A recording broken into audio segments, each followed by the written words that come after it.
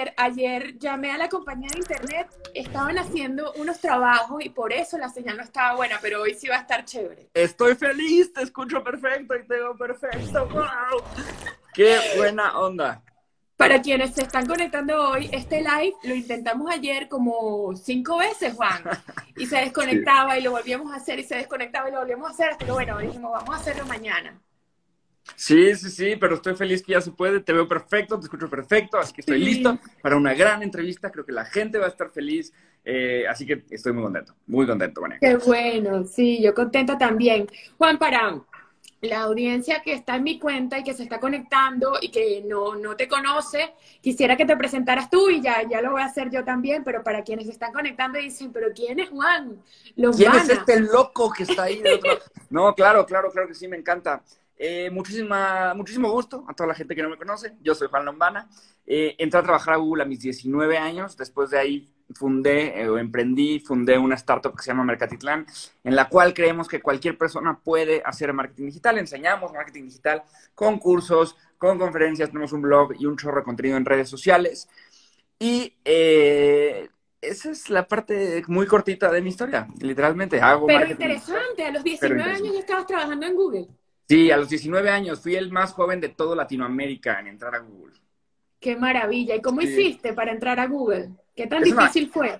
Es una historia súper interesante porque, fíjate, María Ángel, que, que, en realidad mi, la manera natural de entrar a trabajar a Google es pues un poco extraña. Es, es muy difícil y son varios filtros y varias entrevistas y, y es como un proceso muy estructurado. Y a mí, yo no pasé por nada de eso porque y digo, mi esta historia la cuento mucho más románticamente en una TED Talk que tengo, que si la quieren ir a ver ahí está en, YouTube, pongan TED Juan Lomana.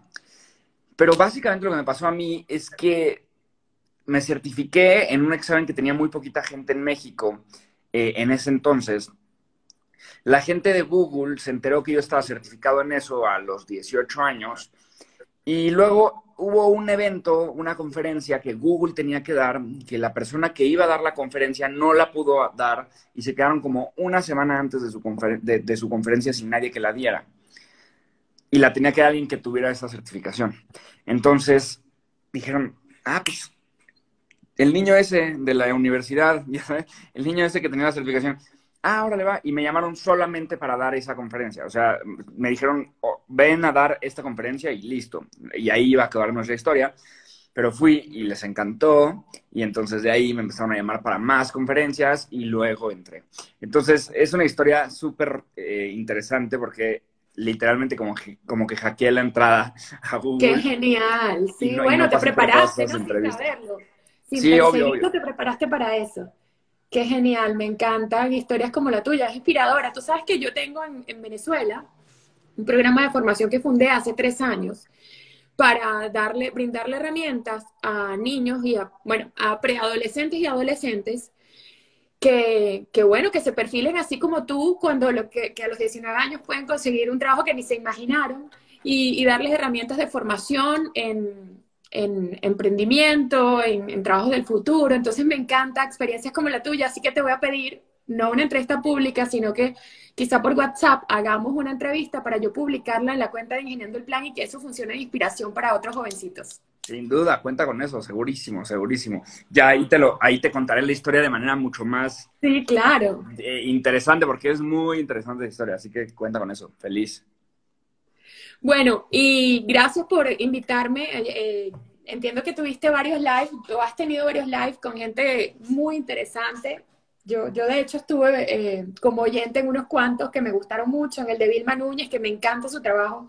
Yo descubrí a Vilma hace como seis meses y desde ahí estoy fascinada con todo lo que comparte y me siento muy honrada que me hayas invitado a mí. No, al contrario, mil gracias por venir. De verdad, de verdad, este, justo estoy haciendo estos lives porque creo que ahorita la gente sí necesita este, que nosotros salgamos, o sea, como que siento que la gente está buscando mucho líderes, la gente que le diga qué hacer, gente que le diga cómo salir, gente que le diga eh, qué hacer en nivel de negocios. Y también creo que es nuestra responsabilidad. Eh, yo siempre he dicho que, que, tener una comunidad y, tener seguidores, además de que es cool, también hay una parte de responsabilidad. Y también tienes que tener tú eh, y tomar cartas en el asunto cuando la gente lo necesita. Entonces, justo este tipo de lives son para eso y por eso he invitado a tantas personalidades en las cuales estás tú totalmente incluida. Y justamente por eso te invité, ¿no? Porque dije, creo que María Ángel puede aportar muchísimo a la gente y darles como muy, muy buenos tips y contenido para que eh, manejen esta crisis tan extraña. Entonces, así como ya me presenté yo, María Ángel, dale, eh, dale tú, preséntate con la gente. Bueno, para quienes te siguen, ¿tú eres, de, tú eres de México y vives en México, Juan. Sí, sí, Ciudad de México, vivo aquí, aquí crecí, aquí nací, aquí he vivido toda mi vida. Ok, bueno, eh, a todos los que me están viendo la cara por primera vez de la comunidad de Juan, yo soy venezolana, vivo en Caracas y me he dedicado a la comunicación desde hace 20 años ya, comencé joven y bueno, comencé porque participé en un concurso de belleza en Venezuela, el más importante de Venezuela. Fui al mi universo. Bueno, de ahí, después de eso, em, me contrataron en un canal de televisión de los más eh, respetados en Venezuela. Y, me dediqué a la comunicación desde ese momento, ¿no? Desde que tenía 21 años. Ya tengo 40, pero en la comunicación siempre estuve en el área de entretenimiento, pero a partir de toda todas las licencias que nos permiten las redes sociales, que son las ventanas propias en las que no tienes un productor detrás diciéndote de qué vas a hablar, ni qué invitados vas a tener, ni qué es lo que vas a compartir. Entonces yo decidí a través de mis redes que el propósito de mis redes iba a ser brindar herramientas para que las personas pudieran, el, que quisiera, incorporarla a su vida para incrementar sus probabilidades de éxito a nivel profesional, pero también personal. Entonces, también lo decidí hacer en mi podcast, donde comparto todas las semanas resúmenes de libros que de verdad son transformadores si los llevas a la acción, si los aplicas en tu vida. Y, a eso me dedico y también a la formación en, bueno, en áreas específicas. A veces doy cursos y eh, ayudar. Es lo, que, es lo que quiero hacer a través de la radio, a través de la televisión y a través de, de todas las ventanas de comunicación que tenemos ahora y las que se van a ir abriendo, porque sabes que el mundo digital es, es siempre una constante transformación. Y es retador, ayer te lo decía y se cortaba y se cortaba y se cortaba, pero, pero es retador para, y, me, me, me veo reflejada en cada una de las personas que son públicas antes de haber creado una comunidad dentro de sus redes y de eso, este es un término o esto es algo que tú manejas muy bien, porque una cosa es llegar a las redes sociales y comenzar a hacer comunidad en un área específica, con un nicho específico, que tiene en común temas de interés contigo. Y otra cosa es, es un poco al revés, ¿no? Es tener una comunidad, un número grande, que está allí por medios masivos y que después tú a esa comunidad, que, que es una comunidad un poco más heterogénea, comenzarle a hablar de temas específicos y ver quiénes de esa comunidad conectan contigo y quiénes no. Y un poco para la gente eh, conocida eh, por otras áreas, tienen mucho temor de hacerlo y, cierta resistencia. Imagínate que, ¿qué pasa con, las personas públicas? Y, de pronto esto, quienes, quienes le están viendo dirán, bueno, pero yo no soy pública, no, no importa mucho ese tema. Pero también hay que fijarse en esto. Cada vez que tú a través de los medios digitales, quieres compartir una información porque te parece útil para ti, porque crees que le va a funcionar a otra persona, pero te limitas y te, da miedo porque crees que no va a ser muy popular y que no va a tener la mayor cantidad de likes, como por ejemplo una foto en traje de baño, si es tu caso, y cada vez que tú te limitas a hacer eso y a tomar la decisión de compartir lo que de verdad crees que agrega valor, por, e, e, es un poco lo que agrega valor versus lo popular, ¿no? Y hay que aprender a elegir bien. Hay que aprender a renunciar a la recompensa fácil para ir trabajando en una recompensa que va a ser a mediano plazo o a largo plazo, pero que crea fidelidad y de verdad crea valor. Y esa es mi filosofía a través de las redes y eso hace algunas semanas cuando di mi curso de marca personal se lo decía a cada uno de mis alumnos. Hay que tomar la decisión de apostar a las recompensas que se trabajan de verdad, que se van trabajando y que requieren de tu esfuerzo, de tu investigación, de tu estudio constante y del deseo de ayudar. Y hay que ir renunciando un poco a las recompensas fáciles de, eh, en el caso, no sé, de las mujeres que son sexys o qué sé yo, pero que saben que tienen mucho más que ofrecer.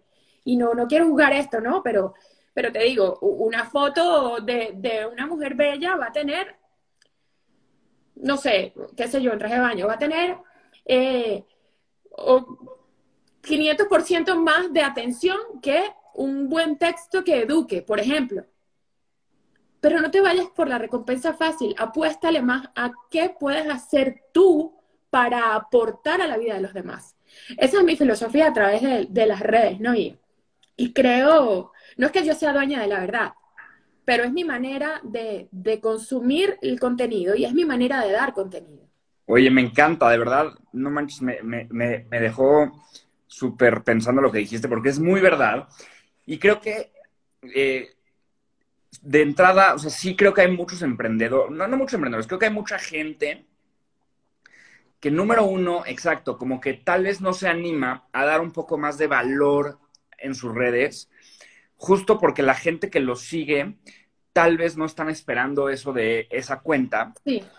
Y tal vez, claro, como dices, ¿no? no lo va a recompensar con likes, pero al final, número uno, pues el like es una métrica de vanidad, ¿no? Como yo digo, es una métrica de vanidad que sí es, es cool tener likes y se siente bien tener likes y te da endorfinas tener likes, pero al final esos likes no realmente están construyendo una comunidad sólida y, unida, eso es uno.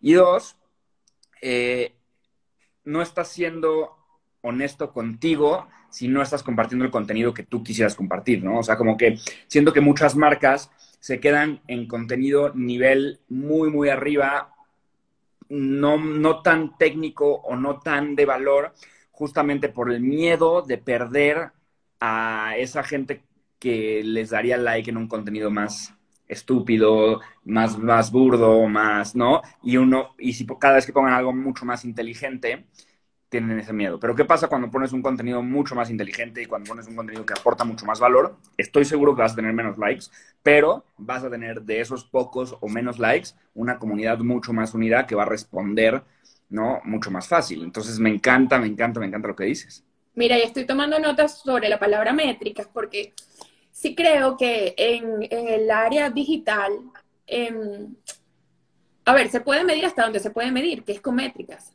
Pero hay hay cambios intangibles o hay cambios que, no puedes medir con métricas, porque simplemente quien leyó lo que Juan compartió, sintió que era algo tan, tan íntimo, que le llegó tan profundo, que no le dio like, que no lo compartió, o que se lo guardó, o que simplemente lo vio, y eso lo hizo modificar el pensamiento, y eso lo hizo tomar algunas acciones importantes, o desincorporar algún hábito que no estaba bien, incorporar un nuevo hábito, y eso no lo vas a poder medir. ¿Qué importa si no lo puedes medir? ¿Qué importa? Ya le hiciste bien a alguien, ya, ya tu información le sirvió a alguien, ya inspiró a alguien. Entonces, a ver, la métrica sí es importante para algunas cosas, pero no puede uno estar pensando solamente en cómo van a ser los resultados de la métrica, ¿no? Eh, tiene que haber un poco más de sentido común y de feeling y de intuición ahí, en en, hacer, en preguntarte, ¿esto me sirve a mí? ¿Esto eh, me, serviría a mí como, como apoyo en mi vida? Pues lo comparto, no importa qué pase con los números de esto, ¿no? No, totalmente. Sobre todo en las redes sociales, yo creo que pasa mucho eso, que yo siempre digo que a, a las redes sociales, cada post que tú pones es como un, como darle un abrazo a, a, tu hijo o a tu papá o a tu, ¿no? Y es como, tú amas a tu papá o amas a tu hijo y por eso lo abrazas. No estás pensando en que ese abrazo va a hacer que tu papá te quiera más a ti y que entonces tal vez te compre algo mejor en la tiendita al rato. No, es como tú nada más le das ese cariño a, tus familiares. Y creo que sí, exactamente igual con las redes. O sea, cada post que tú pones, cada, cada cosa, claro que eventualmente eso va a hacer que tus seguidores crezcan y que las métricas crezcan pero realmente tú no puedes ni estar pensando en eso cada con cada cosa que pones, ni lo puedes medir, como bien dices, ¿no? O sea, tú lo haces por, por amor a la comunidad y por crecer la comunidad y por darles valor y listo. Oye, María Ángel, quiero platicar contigo un tema súper interesante. Esta semana, este, Spotify eh, le dio 100 millones de dólares a Seth Rogen, sí, es una locura, a Seth Rogen, que es el creador de un podcast. Este cuate hizo un podcast con un episodio al día durante tres años. no, durante como cinco años. Este, sí, cinco años, porque tiene 1500 episodios. durante cinco años, un episodio al día, un podcast que todo el mundo puede escuchar gratis. Eh, se volvió tan grande y tan famoso que Spotify, para tenerlo exclusivamente en su plataforma, le dio 100 millones de dólares.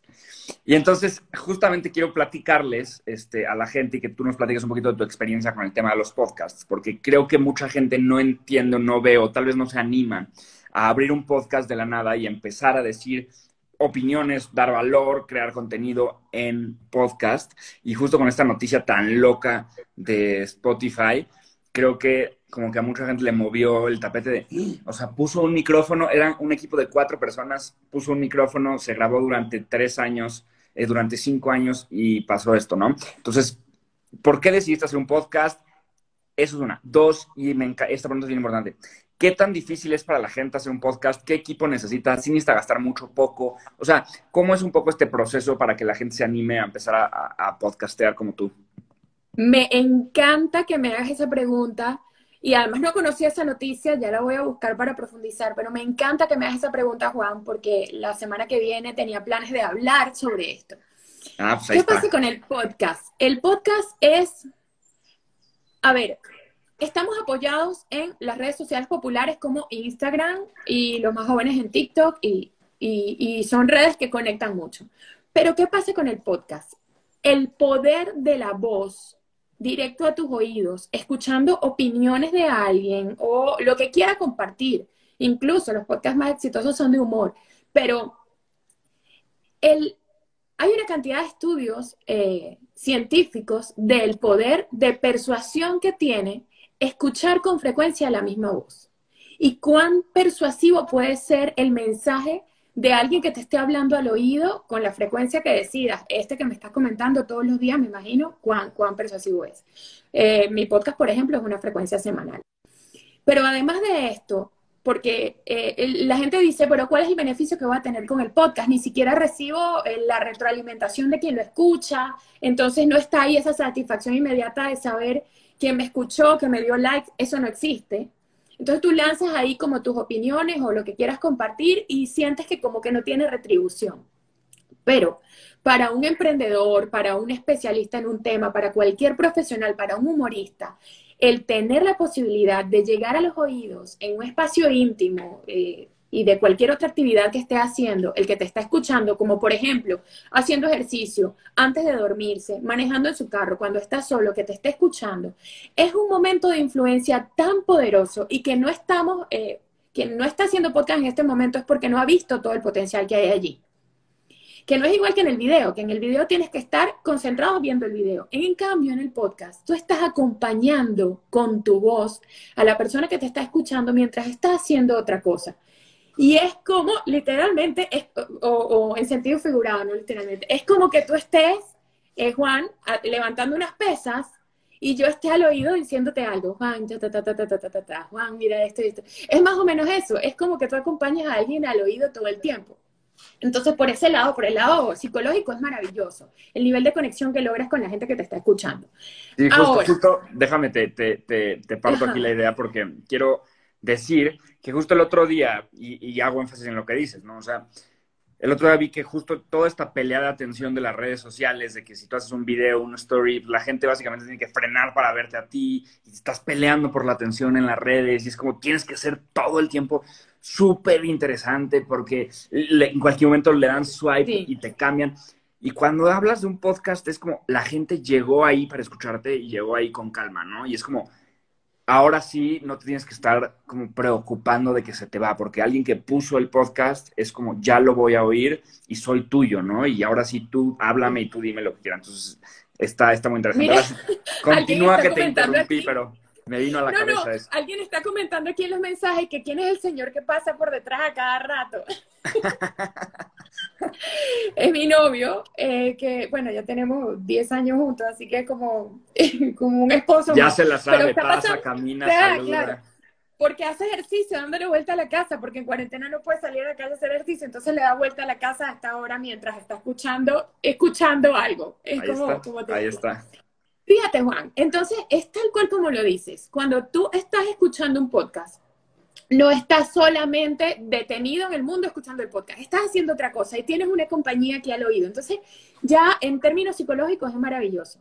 Pero a nivel de posicionamiento, de marca personal o, o un profesional, oye, que cuando pongan tu nombre en Google, salga ahí un podcast, ya te, te eleva un nivel, ¿no? Como, como se llama mi podcast, que se llama Momento Upgrade te, eleva en un nivel y te, y te posiciona como un referente en, en tu tema. Entonces tiene una cantidad de ventajas que yo quiero impulsar y que la gente sepa cuánto valor tiene hacer un podcast.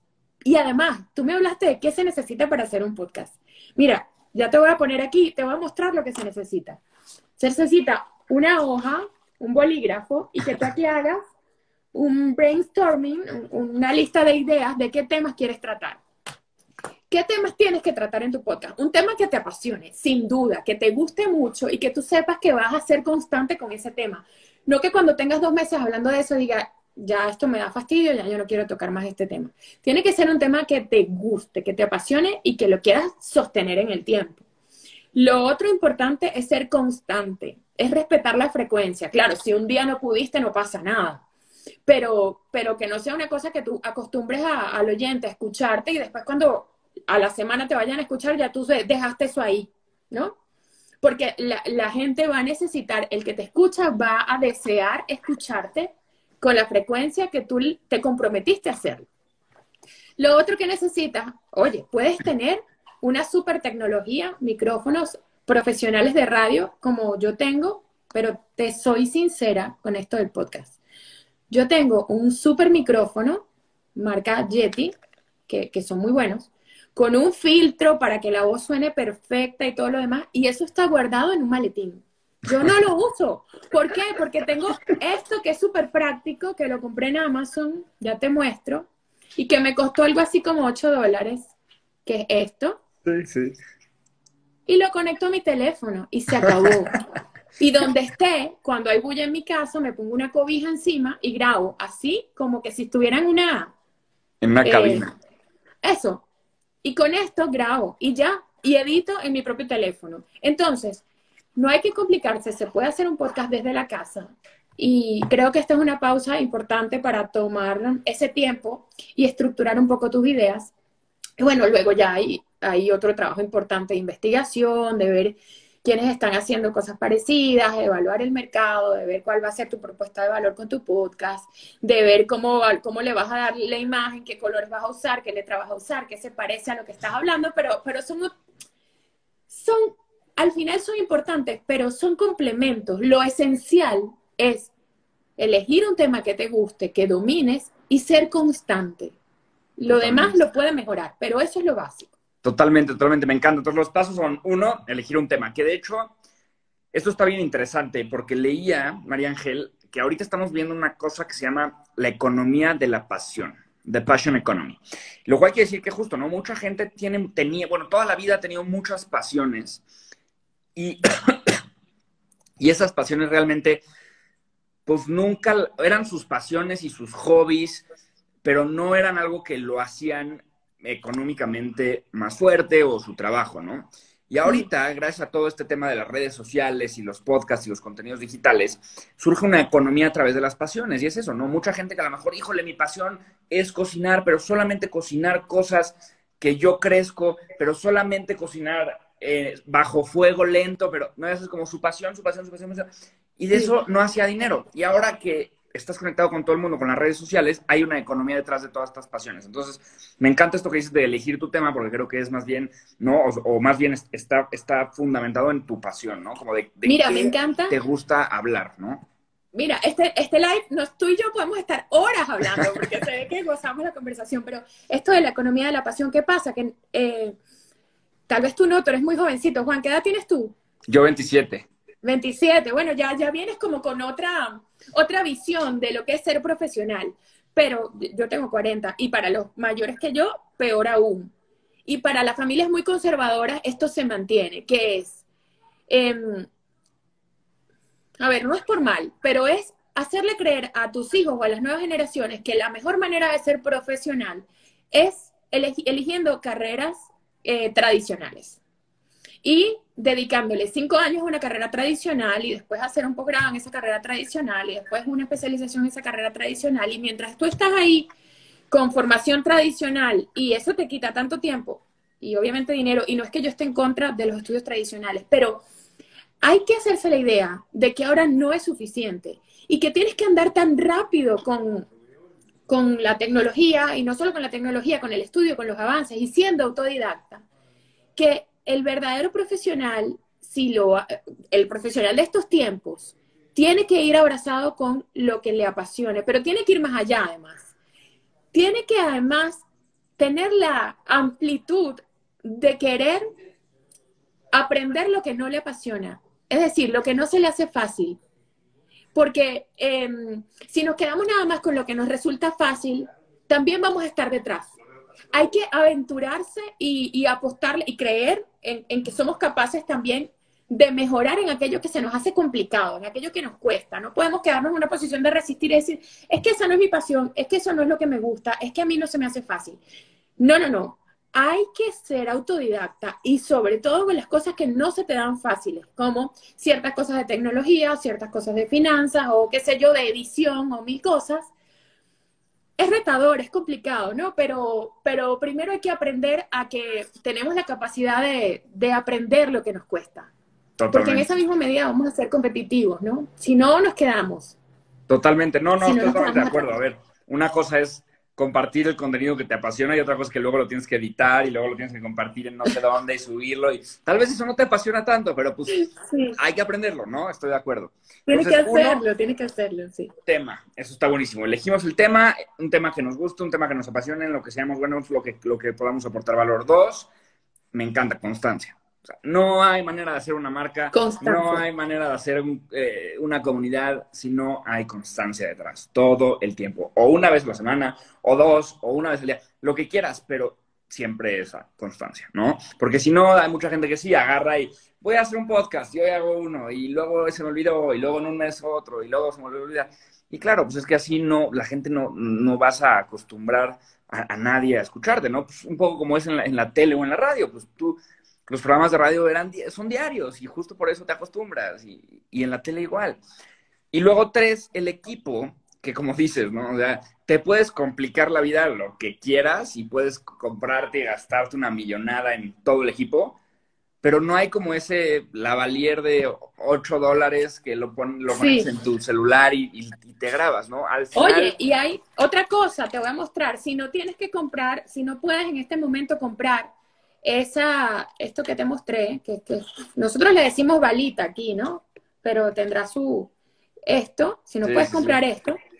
Los teléfonos traen estos audífonos y esto tiene aquí un micrófono. Si tú estás en un lugar silencioso, un dato es ponerse una cobija encima si hay algún ruido o algo y mejora. Eso está buenísimo, hay tu propia cabina. Sí, y por aquí hablas y ya está, la voz está, va a salir bien. Ahora, hay otra cosa importante, Juan, y es el respeto por, es el respeto por la audiencia. No la subestimes nunca. No creas que le vas a meter gato por liebre, como se dice aquí. O sea, no te vayas a grabar sin haber preparado el tema, a menos que seas un improvisador excelente y tu tema sea improvisar o de Y ni aún así, así. Eso. Pero, pero respeta la audiencia, porque tú tienes que lograr fidelidad. Y para lograr fidelidad tú tienes que ser real, tienes que ser auténtico, pero tienes que empeñarte también en la investigación y en lo que vas a presentar allí. Entonces presenta el, contenido de mayor cantidad dentro de tus posibilidades. Y en eso va a respetar a quien te está escuchando, ¿no? Totalmente. María Ángel, este, como bien sabes, bueno, me, gusta hacer estos lives no, no eternos, porque si no siento que la gente también se los aburrimos. Pero quiero de verdad, de verdad, de verdad, de verdad, de verdad agradecerte. Uno, por tu disponibilidad y por decirme, Juan, vamos a hacerlo, vamos a echarle mano a la gente, vamos a hablar de contenido, vamos a darles buenos tips, vamos a darles educación, aprendizaje, valor. Uno, por eso. Dos, por tu resiliencia ayer de no funcionó, vamos a volver a hacerlo, vamos a volver a intentarlo, vamos a hacerlo de nuevo. Cinco veces lo intentamos y aún así no te rendiste y fue, lo intentamos mañana, ¿cómo no? A la misma hora ahí te veo y lo hacemos porque lo hacemos. Entonces, otra vez también como triple gracias por decir que sí al live. Eh, por, por, por, por la resiliencia de tenerlo, aunque hubo problemas técnicos, tú seguiste. Y lo más importante, Gracias por el contenido que nos diste, por el valor que nos diste. Creo que la gente está súper agradecida y le va a servir un montón esto que estamos hablando. Entonces, de verdad, de verdad, gracias. Con todo gusto. Mira, aquí me han preguntado o nos han preguntado varias veces dónde se publican los podcasts. Ya aquí estoy escribiendo la página una vez que los tienes grabados y editados, que claro, este live no da tiempo de, explicarlo todo, pero se, se, van a mi cuenta y yo en los próximos días voy a estar eh, hablando en detalle sobre esto, pero aquí estoy escribiendo, ya va para no equivocarme, bossproud.com. Ahí van a poder ver los distintos planes. Hay una opción gratuita para publicar. Eh, lo que pasa es que la opción gratuita, esa plataforma no te lo repartiría en todas las plataformas. Tienes que pagar un poquito al mes para que esté disponible en todas las plataformas y no se borre.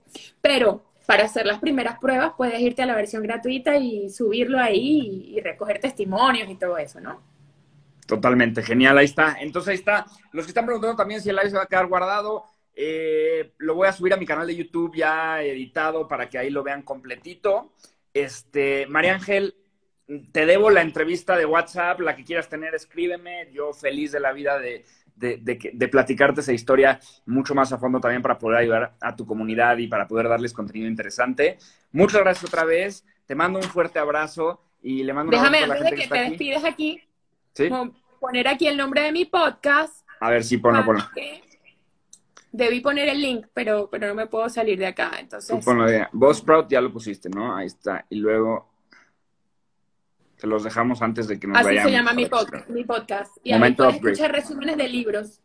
Y que está buenísimo, por cierto, por cierto se los digo, ¿no? O sea, creo que sintetiza el podcast muy, muy bien, el corazón del libro, y, y ya con escuchar esos episodios y llevarlos a la acción, te estarías llevando como todo ese contenido del libro, pero pues más sintetizado. Entonces está muy, muy interesante. La verdad, sí, escúchenlo, está muy bueno. Gracias, Juan. Gracias por esta entrevista, por estos momentos. Eh, Carlos, saluda, que todo el mundo pregunta que quién es el señor que cruza atrás. Entonces, parece Hola, un hombre misterioso él. ¿Quién es el señor misterioso? Todo el mundo pregunta. es que yo cuando estoy en reuniones camino, camino. No me gusta quedarme sentado como Mariano. Está bien. yo me regaña por eso, yo me regaña porque todo el día parezco un hámster. Sí, parece un hámster, todo el día caminando en la casa. Bueno, pero estamos desde la casa, ¿qué podemos hacer? Sí, así es, así estamos todos. Ya estamos, María Ángel, pues te mando un abrazo, muchas, muchas gracias, gracias a todos los que están aquí y este, y ahora a ponerlo en práctica, ¿no? Todo lo que hablamos. Así es, un abrazo. Besos, Juan, gracias por la entrevista. Bye.